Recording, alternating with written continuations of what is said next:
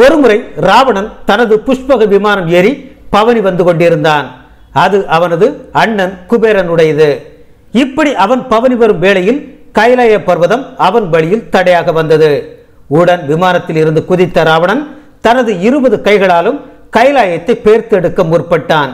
அதை அசைத்தும் விட்டான். பின்பு முக்கண் முதல்வன் தனது கால் கட்டை விரலை கைலாய பர்வதத்தில் வைத்து அழுத்த அவன் அங்கு சிக்குண்டு இடர்பட்டதும் பின்பு ஈசன் அருளால் அவன் விடுபட்டதும் தனி கதை. இப்படி பிரளய கர்த்தாவான ஈசனின் இருப்பிடத்தையே அசைத்த வீரன் ராவணன். அது மட்டுமல்ல இந்த ராவணன் தேவர்களின் அதிபதியான இந்திரனையும் வென்றவன். யுத்தம் நடக்கும்போது ராமன் ராவணனின் முதுகில் காயங்கள் இருப்பதை கண்டு வியந்தான். உடன் அருகில் இருந்த விபீஷணனிடம் ஒரு உண்மையான வீரனுக்கு மார்பில் காயம் இருக்குமே ஒழிய முதுகில் காயம் இருக்காது. ஆனால் உனது அண்ணன் ராவணனுக்கோ முதுகில் காயங்கள் இருக்கிறது. இதற்கு என்ன அர்த்தம் விபீஷணா? என்று கேட்டான். ராமன் வாயால் இப்படி ஒரு வார்த்தையை கேட்டதும் விபீஷணனுக்கு கோபம் தலைக்கேறியது. என்ன ராமா? எனது அண்ணன் கோழை என்று நினைத்து விட்டாயா? மூ உலகங்களில் எங்கு தேடினாலும் என் அண்ணனைப் போல ஒரு சுத்த வீரனை காண முடியாது ராமா. என் அண்ணன் பொழுதை கழிக்க இந்திரனிடமிருந்து வென்று வந்த ஐராவத யானைகளோடு மல்யுத்தம் புரிவான். அப்போது அந்த யானைகள் அவனது மார்பில் தாக்கும். அதன் காரணமாக ஐராவதத்தின் தந்தங்கள் என் அண்ணனுடைய மார்பை துளைத்து முதுகு வரை இறங்கிவிடும். ஐராவதத்தின் தந்தத்தை உடலில் இருந்து பிரித்து எடுக்க என் அண்ணனுக்கு மனமில்லை. ஆகவே அதை அப்படியே விட்டுவிட்டான். அது மாறாத ரணமாக அவனது முதுகில் உள்ளது.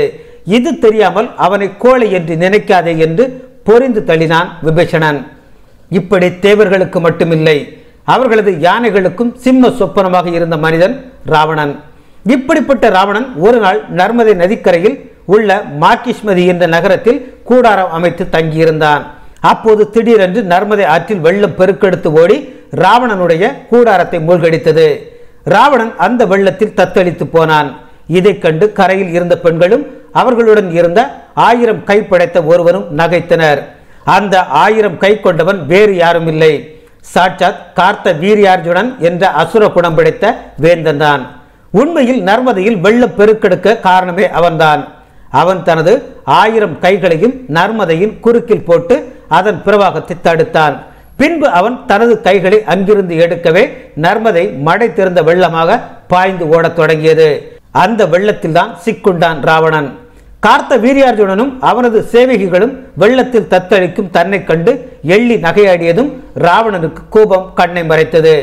சிங்கம் போல கர்ஜித்துக் கொண்டு கார்த்த வீரியார்ஜுனன் மீது பாய்ந்தான். பிறகு நடந்த போரில் கார்த்த வீரியார்ஜுனன் ராவணனை வீழ்த்தியதோடு மட்டுமல்லாமல் அவனை ஒரு கயிறால் கட்டி தனது நகரத்தில் இருப்பவர்களுக்கு இதோ பாருங்கள் பத்து தலை பூச்சியை என்று வேடிக்கை காண்பித்தானாம். இப்படி மகாபலம் பொருந்திய ராவணனையே பூச்சியாக நசுக்கியவன் கார்த்த வீரியார்ஜுனன் இந்த கார்த்த வீரியார்ஜுனன் திருமால் தத்தாத்திரேயராக அவதாரம் எடுத்தபோது அவரது தரிசனத்தை பெற்றவன். அவரிடம் திருமாலின் திருக்கையாலேயே மரணமடைய வேண்டும் என்ற வரத்தை கேட்டு வாங்கிய மாபெரும் விஷ்ணு பக்தன்.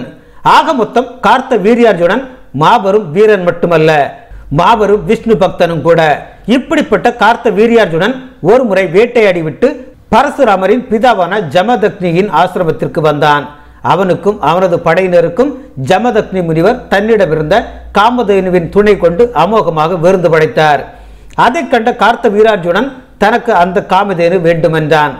காமதேனு முனிவர்களின் தனிச்சொத்து என்றார் முனிவர். பிறகென்ன பெரிய யுத்தமே வந்தது. காமதேனுவிடமிருந்து ஆயிரம் ஆயிரமாக வீரர்கள் தோன்றினார்கள். கார்த்த வீரியார்ஜுனன் சேனை அனைத்தும் நாசமானது.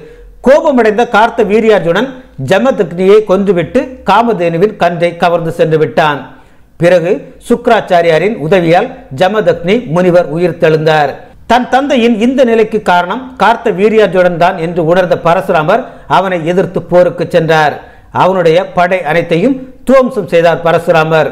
இதனால் கோபம் கொண்ட கார்த்த வீரியாஜுடன் போர்க்களத்திற்கு வந்து பரசுராமரை கண்டபடி தாக்கினான்.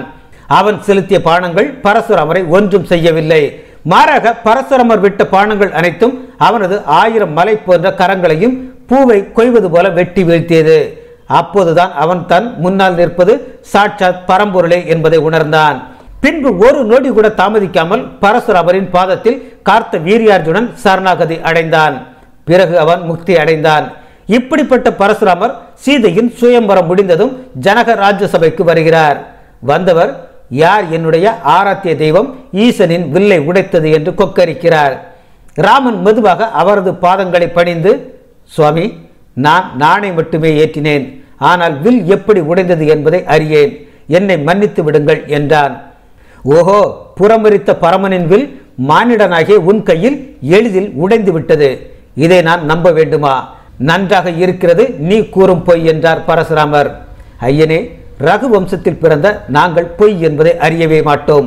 உண்மையில் அது என் கைப்பட்டவுடன் உடைந்து விட்டது என்றான் ராமன். என் ஈசன் மேருமலையையே வில்லாக வளைத்தவன். அவன் புயங்கள் பட்டு உடையாத வில் கேவலம் ஒரு நரன். உன் கைப்பட்டு உடைந்து விட்டதா? நல்லது. இதோ இது சாட்சாத் அந்த பரந்தாமனின் வில்லான சார்ங்கம். முடிந்தால் இதில் நாணை ஏற்றி அம்பை விடு பார்க்கலாம் என்று சொல்லி ராமனின் கையில் விஷ்ணுவின் தனிசை கொடுத்தார் பரசுராமர். ராமன் அதை அனாயசமாக வாங்கினான். அம்பையும் அதில் பூட்டிவிட்டான். பின்பு மெல்ல கேட்டான் சுவாமி எதை குறிவைக்கட்டும் என்று? ராமன் வில்லை பிடித்த விதமும் அதில் நான் பூட்டிய விதமும் அவன் அந்த நாராயணனே என்பதை பரசுராமருக்கு சொல்லாமல் சொல்லியது. ராமன் யார் என்ற உண்மையை அறிந்தவன் அவர் ஒரு நொடி கூட தாமதிக்கவில்லை. ராமா என் தவ வலிமையையும் என் ஆணவத்தையும் உன் பாணத்துக்கு இரையாக்கு. அவை இரண்டும் தான் நான் நற்கதி பெறுவதற்கு தடையாக இருக்கிறது என்றார். வெற்றி என்பது ஒருவரை கொல்வது அல்ல எதிரியை அடிபணிய வைப்பதே உண்மையான வெற்றி. அந்த வெற்றி தான் நம் எதிரி நம்மை அவனை விட உயர்ந்தவனாக ஒப்புக்கொள்ள வைக்கிறது. இதில் வருவதே உண்மையான வெற்றி. நம் எதிரியை கொல்வதால் வருவது ஒன்றுமில்லை ஆகவே ராமன் பரசுராமரை கொல்லவில்லை என்றாலும் அவரை வென்று விட்டான் என்றே பொருள். இதில் மேலும் ஒரு சந்தேகம் வரும். பரசுராமரும் விஷ்ணுவின் அவதாரம்தான் ராமபிரானும் விஷ்ணுவின் அவதாரம்தான். அப்படி இருக்க ஏன் இப்படி ஒரு நாடகம் என்பதே அந்த சந்தேகம். அதற்கு நம் ஆச்சாரியார்கள் ராமன் முழு முதலே ஆயினும் அவன் இப்போது தன்னை மனிதனாகவே அறிவித்துக் கொண்டுள்ளான் மனிதனாகவே நடக்கிறான். அப்படி இருக்க அவன் பின்னாளில் செய்யப்போகும் சாகசங்களுக்கு பூஜ பலம் மட்டும் போதாது தபோபலமும் தேவை. அந்த தபோ வலிமையை பரசுராமனின் ரூபத்தில் அடைந்தான் பகவான். பின்பு இந்த நாடகத்தின் மூலம் ராமனாக இருந்த பகவான் அதை அவரிடமிருந்து வாங்கிக் கொண்டான். உலகை அழிக்கும் பிரளயங்காரனான ஈசன் இருக்கும் கைலாயத்தை பந்தாடியவன் ராவணன்.